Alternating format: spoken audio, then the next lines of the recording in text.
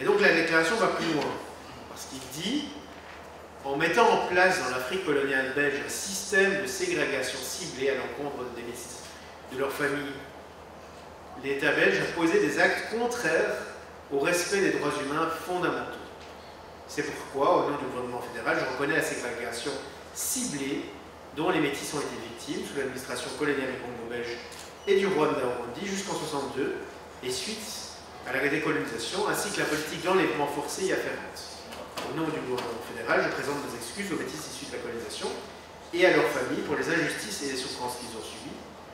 Je souhaite également exprimer notre compassion envers les mamans africaines dont les enfants leur ont été arrachés. Pour le tout le métis. Mais si aujourd'hui on s'est mis ici, on s'est mis ici devant vous avec monsieur l'ambassadeur, c'est que la Belgique a accepté les erreurs qui ont été commises à l'époque coloniale.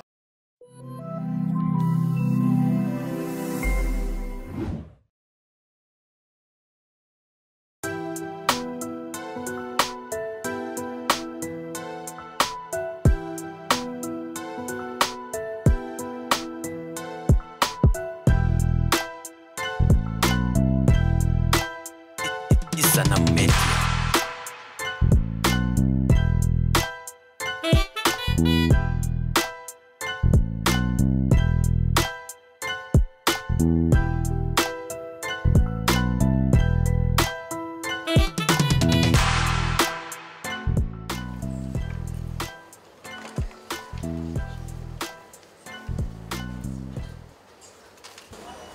belge a posé des actes contraires au respect des droits humains fondamentaux.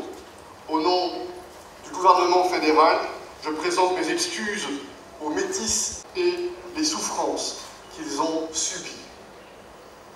Je souhaite aussi exprimer toute notre compassion envers les mamans africaines dont les enfants ont été arrachés. Donc, les guerres d'indépendance que nous connaissons dans d'autres pays en Afrique, on ne les connaît pas au Rwanda ou au Burundi. On peut en parler pour le cas du Congo, du Kenya, de beaucoup d'autres pays, mais pas ici. Euh, ça a été plutôt un processus. Sinon, je vais inviter les panélistes, son Excellence l'ambassadeur. À la veille de la, de la vague des indépendances africaines, plusieurs milliers de- d'enfants métis vivaient en Afrique belge. La plupart d'entre eux étaient des enfants d'hommes belges en poste et de femmes congolaises, rwandaises ou burundaises. Sous le régime de l'État colonial, les couples mixtes étaient interdits. Ils faisaient l'objet d'une stigmatisation sociale et de sanctions. Les enfants métis étaient considérés comme un problème, des éléments dangereux, voire une menace pour le système colonial. Les autorités coloniales et l'État belge ont alors pris cette mesure pour empêcher les mariages raciaux, les mélanges raciaux.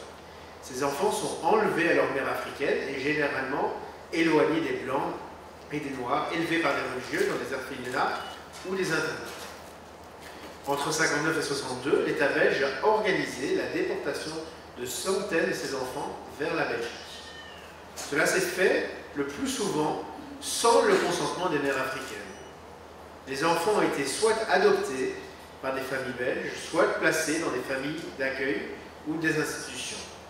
La répartition des enfants métis sur l'ensemble du territoire euh, de la Belgique s'est effectuée en séparant les fratries, on l'a vu dans le film, et a entraîné des pertes d'identité dues aux différents changements de prénom, de nom, de date de naissance. Alors, c'est important.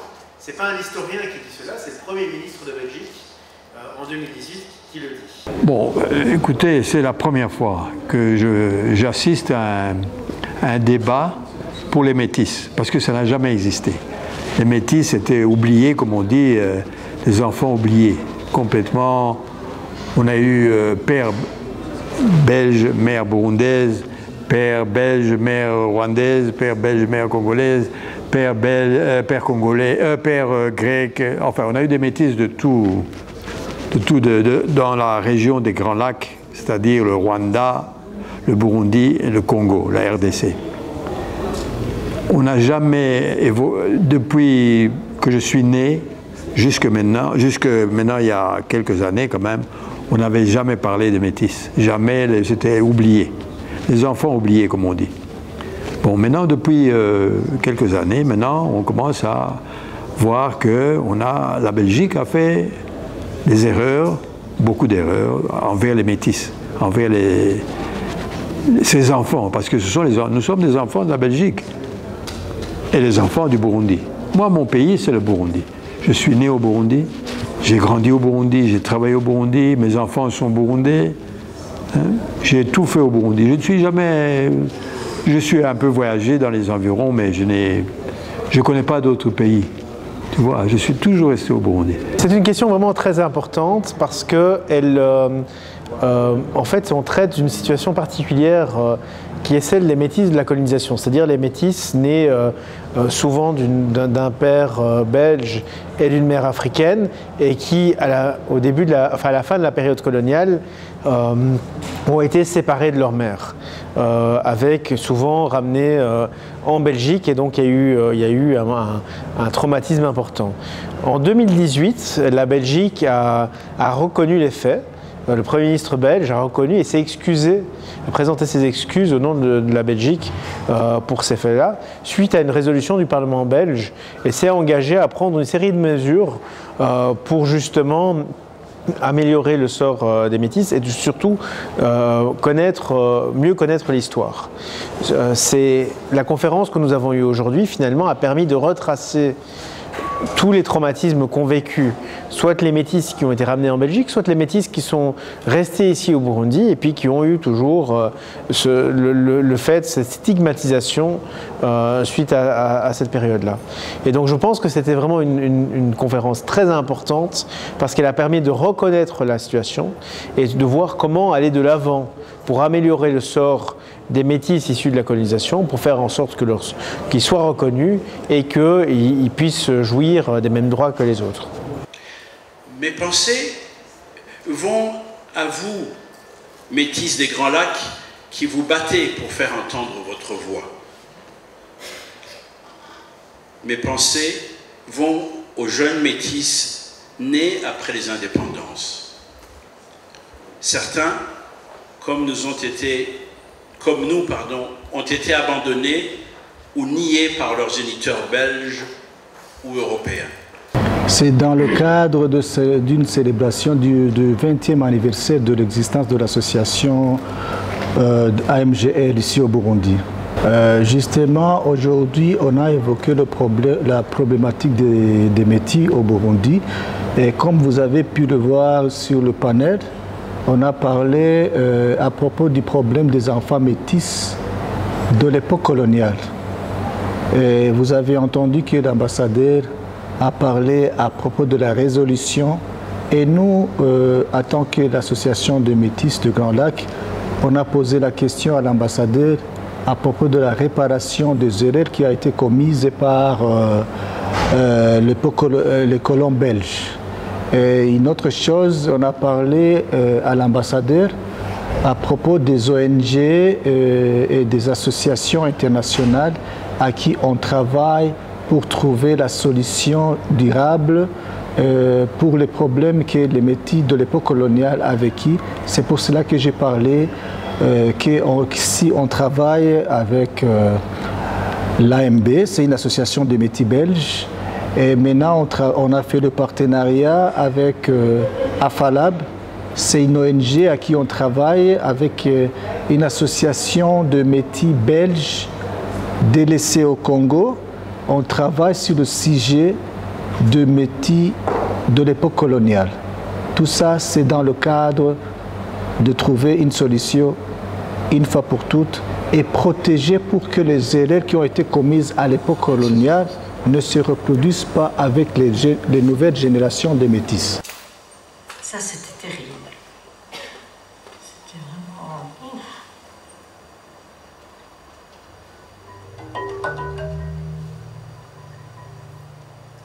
Je peux dire que euh, on a été mal- très malheureux.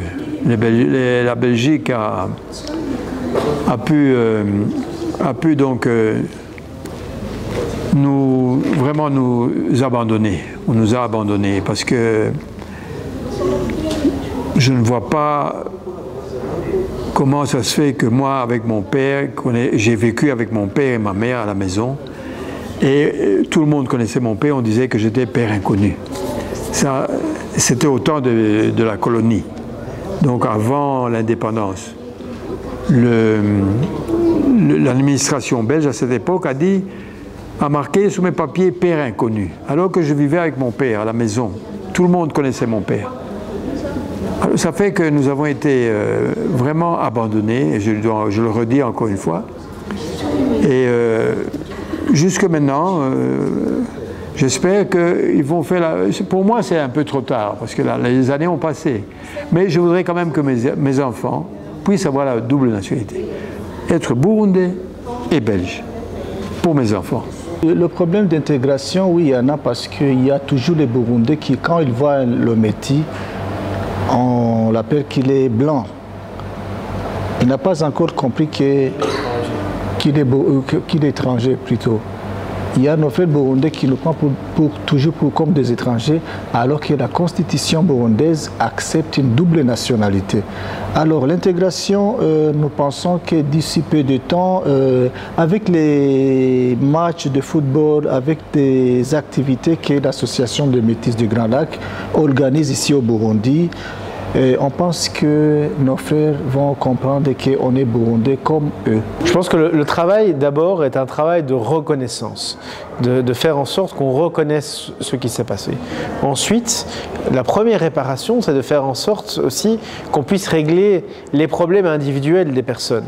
Ça passe en particulier par, euh, une par des actes de naissance euh, que de nombreux métis n'avaient pas. Donc la Belgique a adopté une loi pour cela. Cela passe par des, euh, des archives qui doivent être mises à disposition des personnes concernées. La Belgique a alloué un budget justement pour euh, non seulement collecter les archives, mais faire en sorte aussi qu'on puisse extraire de ces kilomètres d'archives les informations qui concernent les métis de la colonisation. Et puis le travail n'est jamais terminé. Il faut continuer le travail avec l'association des métis pour faire en sorte que leurs euh, leurs droits soient, reconnus. et il a demandé que je lui donne son enfant. Moi, je reviens, mais par force, j'ai signé le papier de laisser l'enfant. En chagré, j'ai laissé l'enfant partir, mais je ne sais pas quand il, a, il est parti. Le là, je ne sais pas quand il est parti, parce qu'on m'avait chassé au centre-ville, on m'a amené loin de la ville pour que je ne connaisse pas ce qui se passe. C'était un garçon, il s'appelait Nikos, le garçon, ton enfant. L'enfant était une fille, Elle s'appelait comment?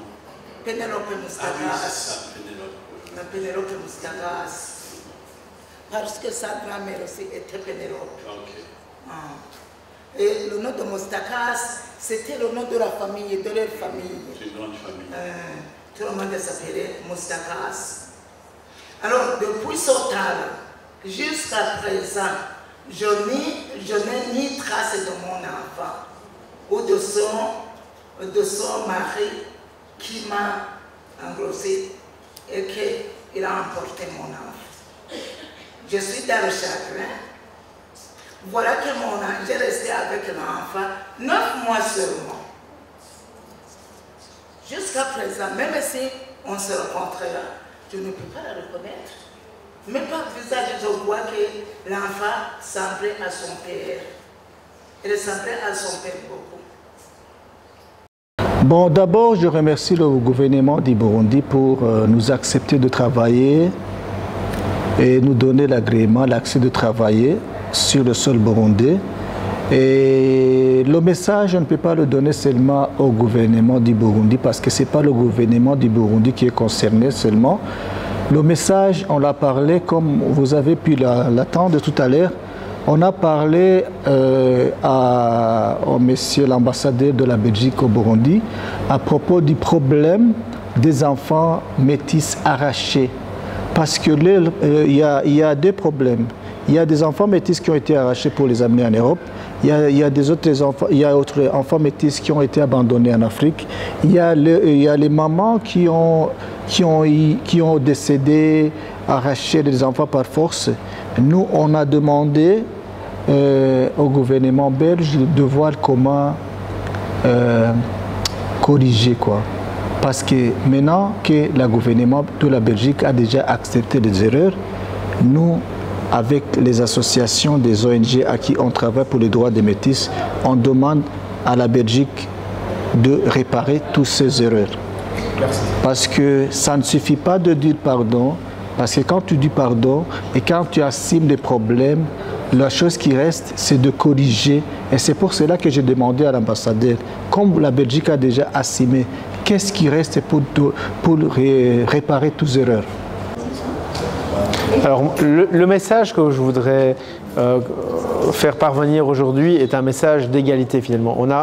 On s'est rendu compte aujourd'hui hein, que ces problèmes qui se sont posés il y a des décennies finalement, euh, finalement c'est c'est pas très différent euh, de, toutes les, tous les cas de discrimination que vivent les gens de par le monde. Il y a, l'égalité des droits et en particulier l'égalité des droits des enfants est vraiment essentielle. Et c'est à partir du moment où on reconnaît l'égalité des droits qu'on peut vraiment résoudre ce type de problème. Toi, c'est Touri Bamwe.